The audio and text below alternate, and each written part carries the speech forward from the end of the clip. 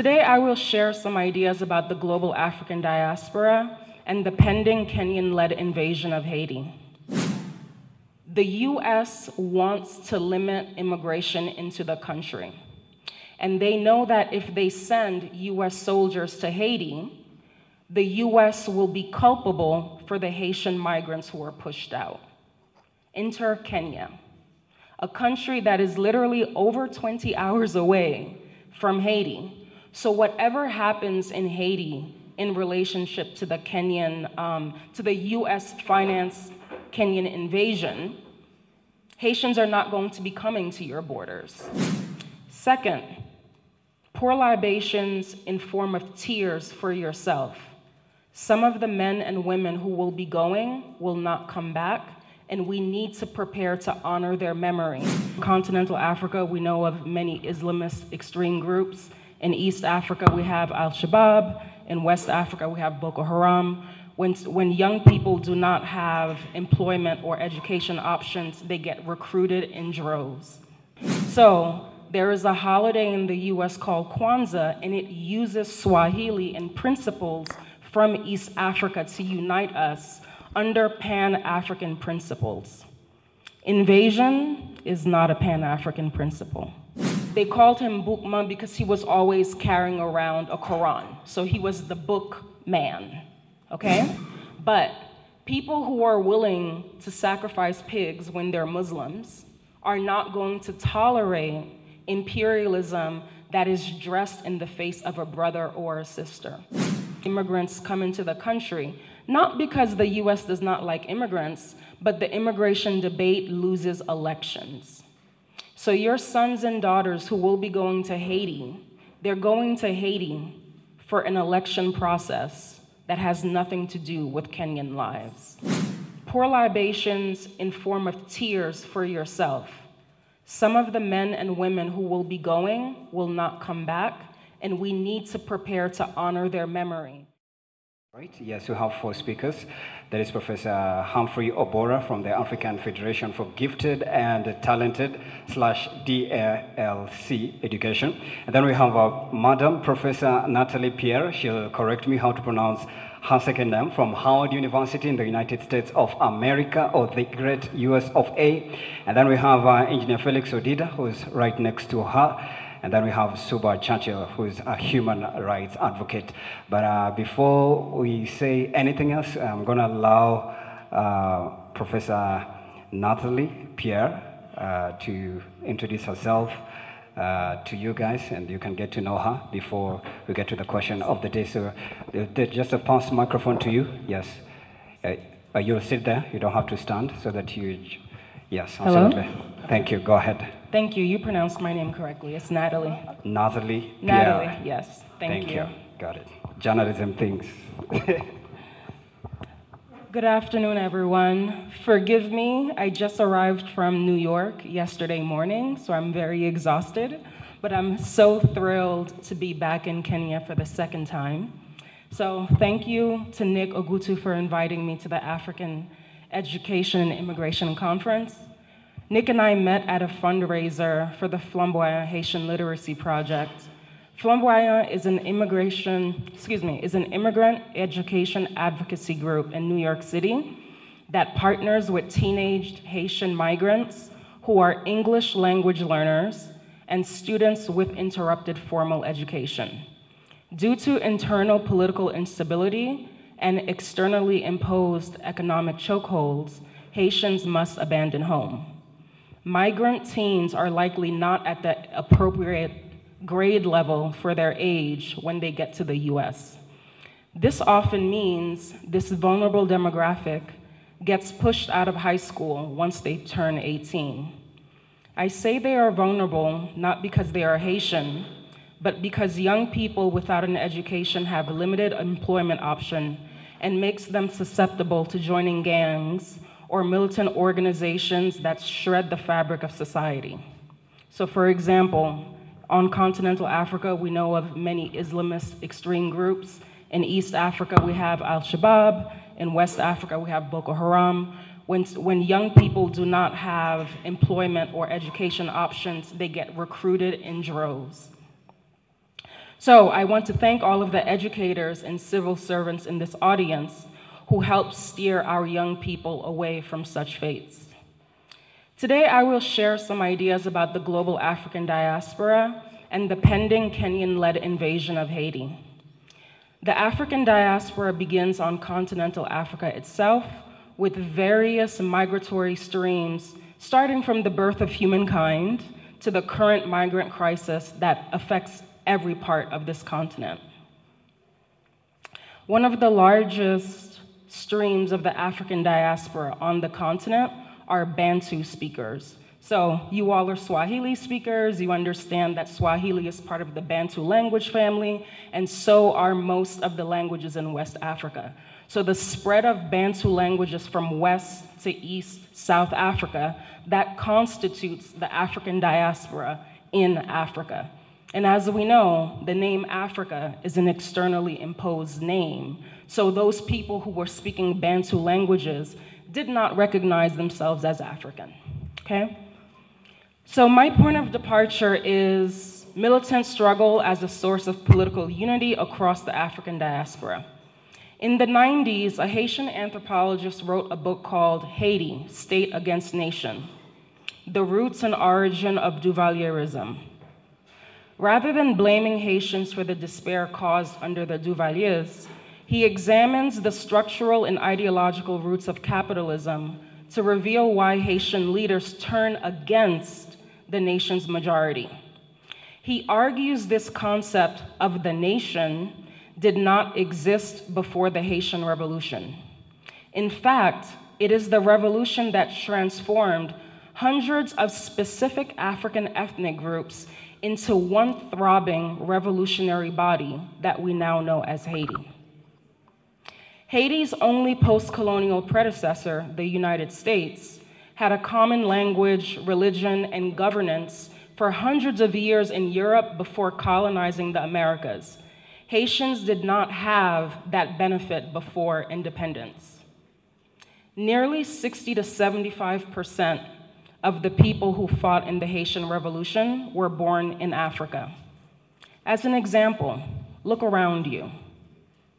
In 1791, when your revolutionary ancestors, because the Haitian Revolution was for all Africans, not just the Africans who became Haitian, when your revolutionary ancestors fought for their liberation, only one out of every three was born on what the indigenous Taino called Haiti.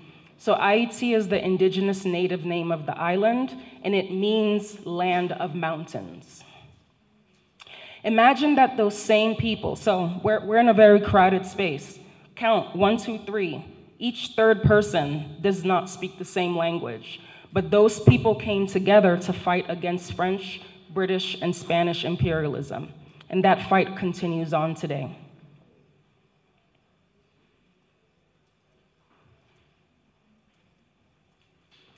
The issue of language is very important when we're thinking about the African diaspora. So, though I do not speak Swahili, English is my second language, and I'm forgetting my first language, so I don't think Swahili is going to be on the list. But Swahili, because of the number of Africans who speak it and the millennia that Swahili came into formation because of trade with Arab traders, people in the Indian Ocean, it has become a lingua franca for Africans all over the world.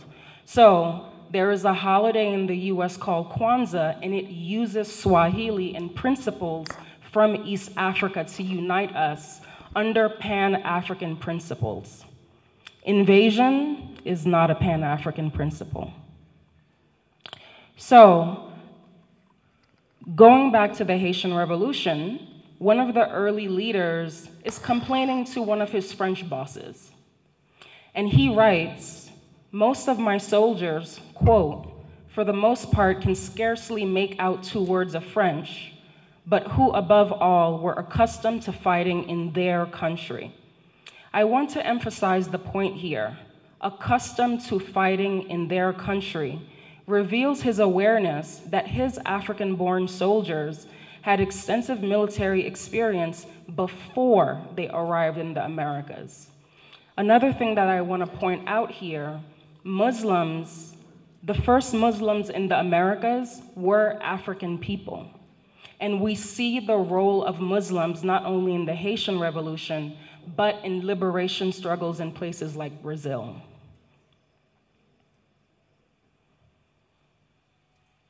It was the skillful work of military generals who coordinated the military talent of your revolutionary ancestors. With each unthinkable victory over the Spanish, British, and finally the French, Africans who became Haitians, Africans became Haitians in a 13 year war. So the Haitian Revolution did not happen overnight. It took 13 years. Once they got their independence, they fought against each other for another two decades.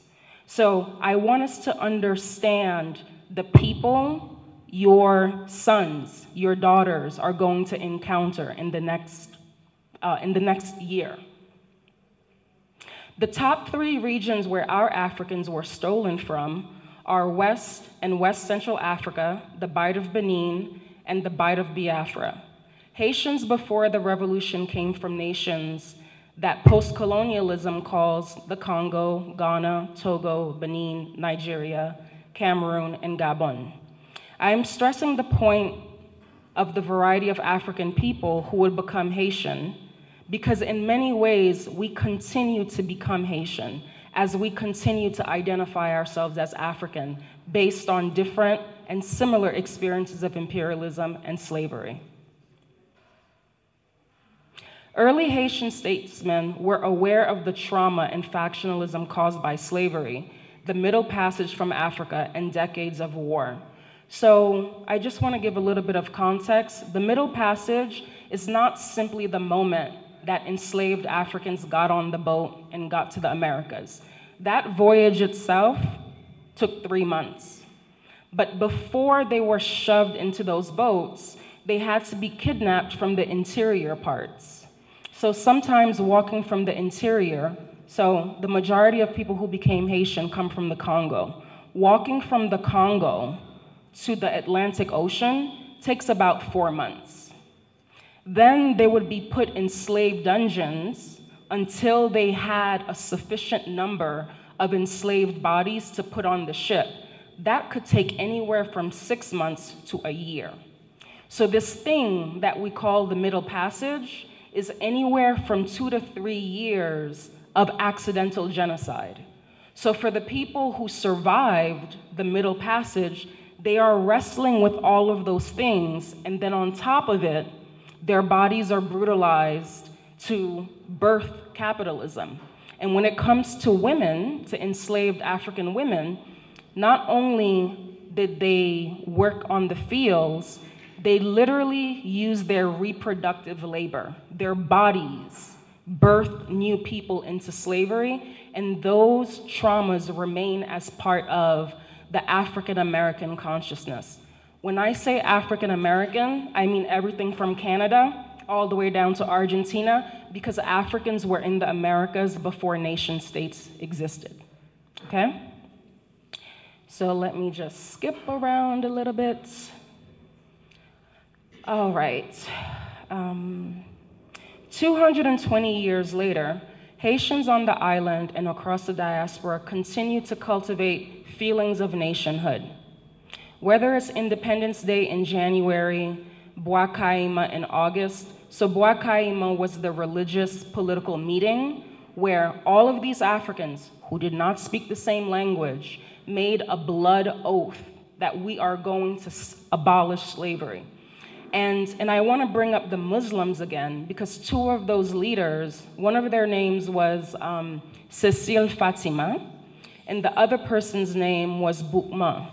We know that they were Muslim because Fatima is a very traditional Muslim name, and Boukman, um, they called him Boukman because he was always carrying around a Quran. So he was the book man, okay?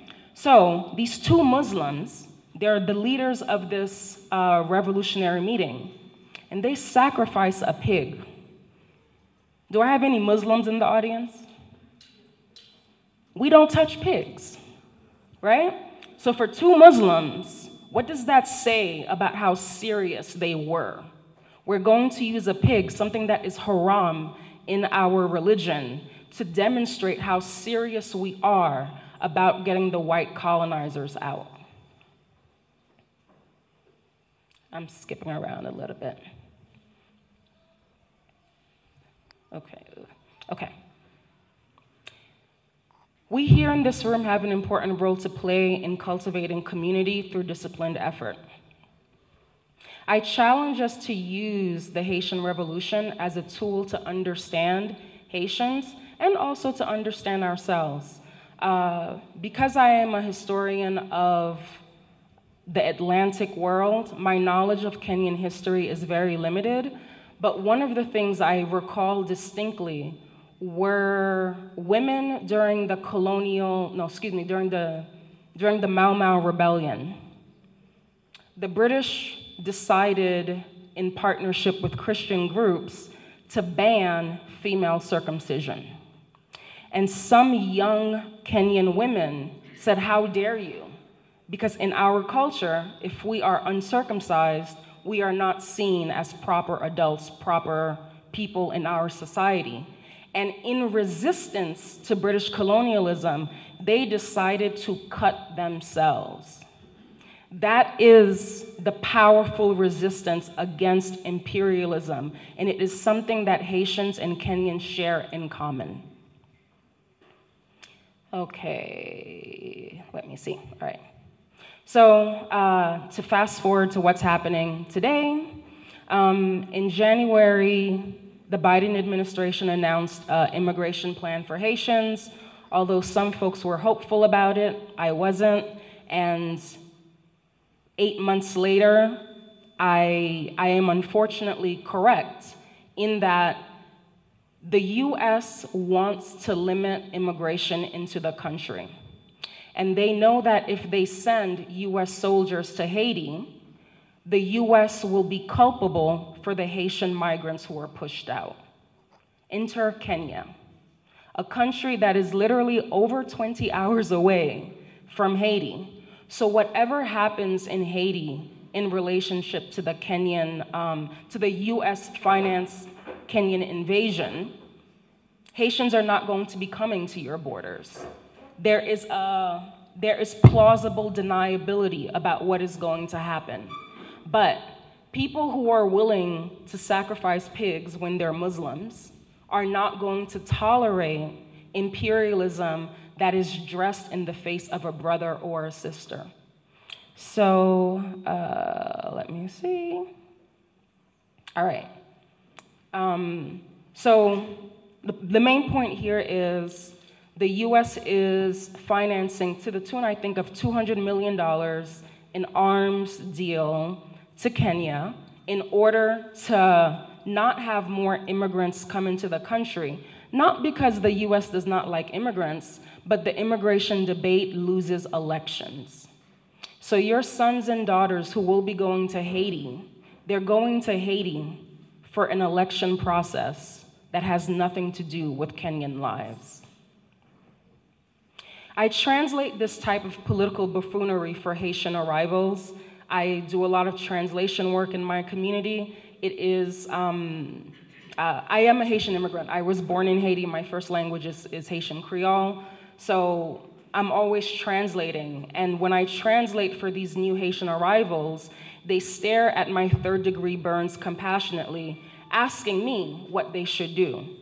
I can only offer the community based tactics that helped my family avoid jail after my burn accident and 13 years of organizing with Brooklyn based Haitians. On 12 January 2010, I sat barefoot on a Haitian balcony that overlooked a drained pool surrounded by fire red trees. It kind of looks like the little purple flower trees that you got, but it's just red. My toes lapped up the cool from the linoleum floor while I cracked jokes with an Iraq war veteran who had been deported from the US. So she fights in the Iraq war and then they kick her out anyway. In a flash, I see the erosion of her laughter lines. The eyes gain depth through horror. She saw something just beyond my shoulder. Before I turn, just like that, the earth's eggshell cracked and solid ground crumbled away. For 35 seconds, we surfed on membrane and quivering yolk. The once sturdy linoleum floor juts up in coarse, impossibly jagged angles. Before completely falling apart, the floor politely allowed the furniture over the balcony's edge. In disbelief, I retreated into the brain's attic. This is what professors do, we live in our heads. Allowing it to sort through memories of bumpy train rides. It took an empty bookcase careening toward my body to snatch my brain back into reality. I realized there are no trains in Haiti. That rumble was the cavernous bowel of the earth demanding tribute in the form of life and property. The cement created an opaque cloud that tasted of soft talcum powder with sporadic dashes of shard. I belly crawled away from the balcony's ledge toward the veteran's voice. I made myself vertical by clutching onto the mighty calves of a hero barking life saving orders at me. Still silent, I watched Mother Earth reclaim her children. For the record, the first first responders to the seven point magnitude earthquake were our survivors. Their bulldozer like fingers desperately moved mountains of cement for the buried living. Haitians describe the hollow bouncing sound and feel of crunching cement as the onomatopoeic gudu gudu. So that's the sound, that's what it sounds like. For 36 hours, survivors endured thunderbolts zinging our feet from the earth's open bowels. Still, still, we continue to hear the choir of pitiful shrieks from children, men, and women. 13 years later, these survivors migrate to the United States. They assume my burn scars are from the gudu gudu when I do translation work. To explain this tragedy happened in the United States might diminish Hope's extraordinary power. So my family migrated to the US. I have this terrible accident, and my family, they don't speak English. They're terrified that we would be deported. So instead of taking me to the hospital, they tried to treat me at home. I am not a mother, but for all of the mothers, for all of the parents, for all of the caregivers, can you imagine what type of fear you have to hold to let your child endure that type of suffering? This is the reality of black immigrants in the US. Like 2010's first responders, Kenyans who arrived to my homeland play a role in shaping Haiti's future. The toddler version of the earthquake survivor finally understands fearful immigrants make horrific decisions to remain within US borders. What horrific decisions will Kenya's leader make while in Haiti? What will Kenyan voters do to challenge that? Our governments, both here and in Haiti, destroyed the social contract. Democracy is an experiment. If you don't believe so, just look at how the US is absolutely crumbling before our eyes, and yet they propose that this model should be imposed on everyone. Our brothers and sisters in West Africa, they are challenging it through coups, but we need to be clear. The reason they are challenging it is that they are still financing the economy of France, even though they have been independent for nearly, or no, for over half a century at this point. The death of Kenyans and Haitians is inevitable. I offer the following options. First, jeter de l'eau. That is a Haitian expression which means pour libations for the estimated 300,000 ancestors who were born on the day of the earthquake and the ancestors who will be born due to this disastrous invasion plan. Second, pour libations in form of tears for yourself. Some of the men and women who will be going will not come back, and we need to prepare to honor their memory so that we never allow our leaders to make this type of decision again. And finally, put your hands in the work. My mother has a lovely uh, parable she would say. Um, hold on, I'm translating. Uh, the hands, no, the eyes are coward before the eyes. So, this is an expression she would say before I had to clean up my room. She's like, don't look at it, just put your hands in the work. So, that is what I'm suggesting to people in this audience. Put your hand in this work. We cannot allow this invasion to transform Kenya, the speakers of Swahili, the Pan African lingua franca, to become an imperial power in Haiti. How will our prayer warriors and educators guide our young people during this uh, proposed invasion? If Haiti has offered anything to global humanity, it is the fierce truth that unity brings powers. May this history anchor us during the hard times ahead. Thank you.